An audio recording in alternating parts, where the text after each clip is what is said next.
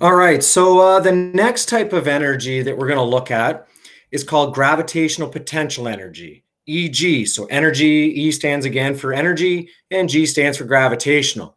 And that is the energy an object has uh, because of its height. And so our formula for gravitational potential energy is, well, we have EG is equal to mass times G, which again is our 9.8, uh, how much times how much height you have. Or sometimes you just have a change in height. And so what we have is this is pretty much the same formula as delta EG, which delta just again in math and science stands for change. Uh, your mass is not going to change. Your G is not, not going to change, but you could have a change in height. So it's delta H. So there's our two formulas again. Uh, M, uh, M is the mass. All right, uh, H is the height. And again, our G value is 9.8. All right, now, for example, uh, consider a box being lifted from a shelf to another, one shelf to another, I guess you should say. Assume the distance between the shelves is 50 centimeters. If the height of the first shelf is 1.25 meters, uh, find the potential energy of the box uh, when it is on the first shelf. All right, so our first shelf here is again at a height of 1.25 meters. All right, and so again, if I'm looking for the gravitational potential energy, our EG, all right, so that's what we're looking for.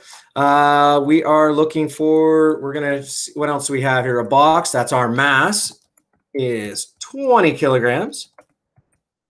Uh, our height of that first shelf, uh, 1.25 meters. All right, and so I'm going to use that formula we have up there, EG is equal to MGH. And so our gravitational potential energy, uh, we're going to have our mass, which is 20, 20 kilograms. Uh, again, our G value, 9.8. And our height is 1.25. All right, so uh, with this formula, all I need to do is multiply my three numbers. And let's see here, I end up with uh, 245. And again, because we're talking about energy, we are looking at joules. All right, now, uh, next situation here with our box. Uh, part B, find the gravitational potential energy of the box after it has been moved to the second shelf. All right. Now, uh, so all our values are pretty much the same except for our height. So the height, uh, we started off at uh, 1.25 meters, all right? But then we're adding 50 centimeters. That's a bit of a problem, right? Because I have to, again, have everything in the same unit. So again, I need to convert it to our standard units of meters. So uh, I take 50 centimeters and I divide it by 100, I get 0.5 meters. All right, and so if I add, let's see here, my 1.25 uh, 2.5, I end up with a height of 1.75. All right, so uh, that's our new height that's on the second shelf because each shelf is 50 centimeters apart. So again, when I find my EG, I get uh, mass times gravity times the height. And so our number should be bigger than it was 245 because, uh, again, we've gone higher, more gravitational potential energy. All right, so I have my 20 times my 9.8. Uh, then my new height here is 1.75 meters. And again, when I multiply my three numbers, let's see here what I get. I got another round number here, 743 joules. And again, it's bigger than it was before because we've gone higher up. Now, uh, let's see here. Find the work uh, moving the box from the first shelf uh, to the second shelf. All right, so work, again, these are related. It's how much energy did you make a change? So work is going to equal our delta E. Whoops, delta E. I'll use hashtag for delta because I don't have a, a little triangle here on my keyboard. And that's going to be equal to, you take your first gravitational potential energy, or your second, I should say, your final one, which is right here, EG2, and this would be our EG1. And so we finished with uh, EG2 amount of gravitational potential energy. And we started off with EG1, which is the amount of gravitational potential energy we had initially being on the first shelf. All right. And so uh, again, we had 343, 343 joules that we ended up with. Because we were on the first shelf, we started off with 245 joules of energy. And the amount of work it took uh, to move that from the first shelf to the second shelf uh, is 98 joules. And that's one way to look at it. The other way to look at it is that when I'm finding my change in energy, well, again, I could use mg and then just a delta H, which again, the mass of this box is 20 kilograms. Uh, gravity is still 9.8. And our change uh, in gravitational potential energy is we just moved it up 50 centimeters or 0.5 meters. Now, if I multiply those three numbers, I get 98 joules. I get the same answer. So there's a couple of ways to figure that out. I could either look at the change in the height and do a formula, but uh, because I knew what energy I finished with and what I started with, I just decided to subtract the numbers. Again, two ways to look at that. Uh, but it, in the end, you get the same answer. All right, let's see here. Oh, that's no D here. So uh, we get to example two. A gas-powered winch, winch on a rescue helicopter does 4,200 joules of work while lifting a 50 kilogram swimmer at a constant speed up from the ocean. Through what height uh, was the swimmer lifted? All right, so again, I'm going to write down my variables that I know. The amount of work put in here was 4,200 or 200 joules, which I could say that that is going to be the change in gravitational potential energy. All right. Uh, what else do we know here? The mass of the swimmer is equal to 50 kilograms. All right. And we are interested in the height.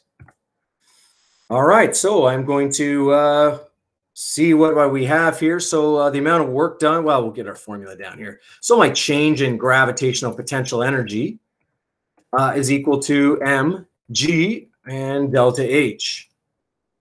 All right, so I know that this winch uh, supplied 4,200 joules of energy it did to lift this swimmer directly up.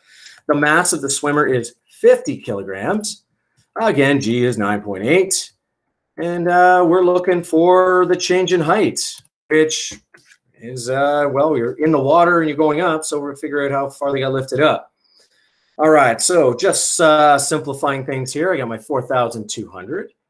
Uh, 50 times 9.8, I end up with, again, nice round number, 490.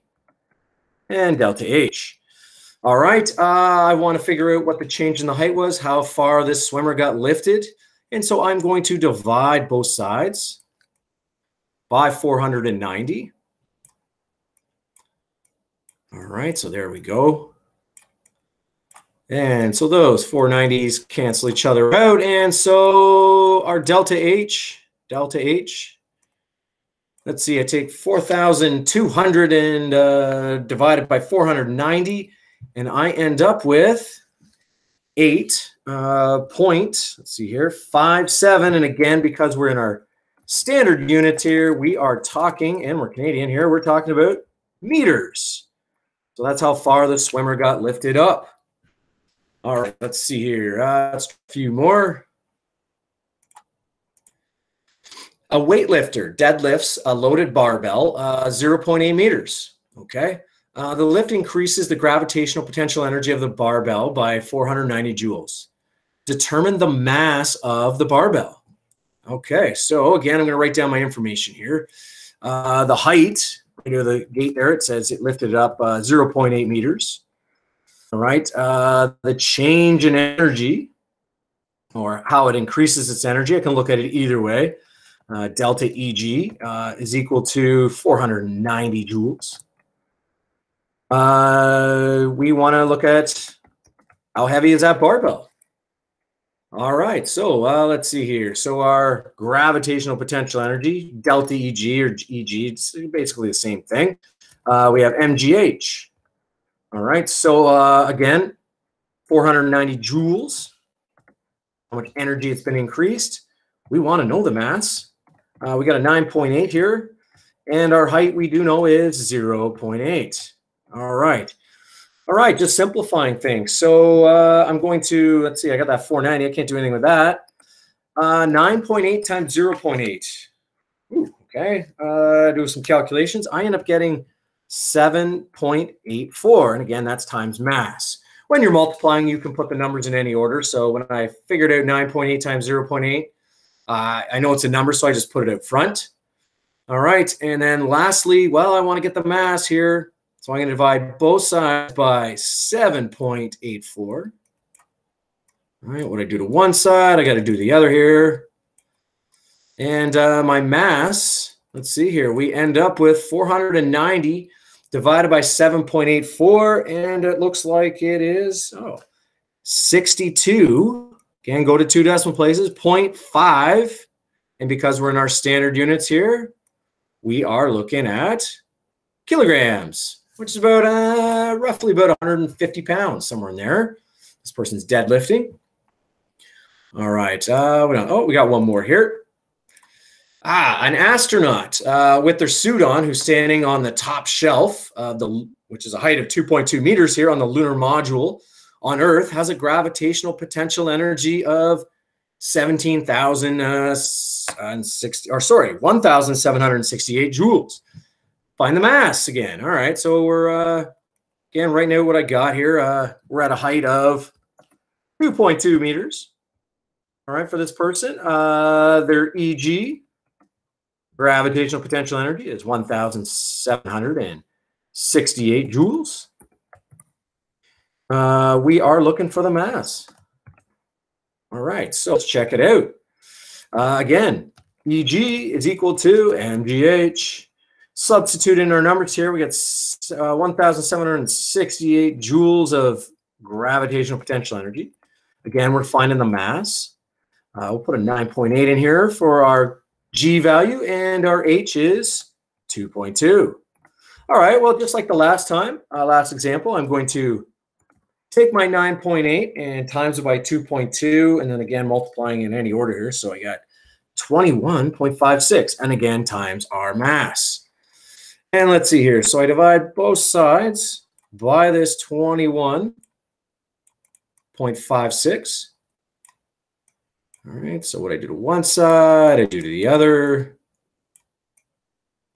Okay, so those divide each other out. And let's see, the mass of our astronaut is, uh, oh, I get a round number here. I'm getting 82 kilograms which is probably about 100 and eh, 180 pounds. There is actually uh, limits when you're talking about astronauts and how big they can be and how tall they can be because they got to fit in a spaceship. So it's the one time where somebody short like me uh, has an advantage. All right, now we get to B. If on the same step, the astronaut has a gravitational potential energy of 294 joules after landing on the moon, not moon, find the acceleration due to gravity on the moon. Okay, so check this out. So this is a little bit different in that this time we're on the moon, same same person here. Our gravitational potential energy is 294 joules. Uh, again, this person is on the same step, so it's at 2.2 meters. We know the mass now of this, this astronaut is 82 kilograms. Here's what we're finding now. We're finding the G value for the moon. All right. Uh, we're going to use the same formula here. EG is equal to MGH. All right, I'm going to substitute in my numbers here. So 294 joules of uh, energy. And uh, again, the mass of this astronaut is 82 kilograms.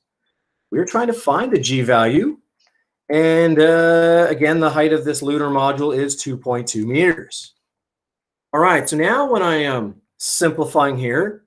Again, as I mentioned, uh, when you're multiplying, you can do it in any order. And so I'm going to take 82 and times it by 2.2. And let's see, I get uh, 180.4. And again, times G. Again, this G value is the G on the moon. We've always talked about 9.8 uh, because we're on Earth, but uh, the moon's got a different one because it's a smaller planet.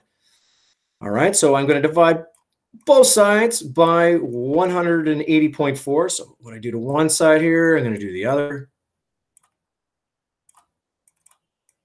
All right, so again, these divide each other out, and our G value on the moon, and this is true, didn't make this up, this is the actual G value, is I take 294 and I divide it by 180.4, and the G value on the moon is 1.63, and again, we're talking about the acceleration due to gravity, so it's meters per second squared, and that is actually the G value on the moon and that is why things float on the moon. Ours is 9.8 on Earth, and the moon is 1.63.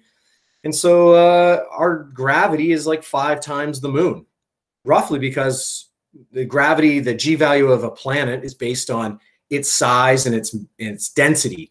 And the moon is basically made of the same material as Earth, but uh, it's five times smaller. And that's why gravity on the moon is five times less. All right, so that is our gravitational potential energy.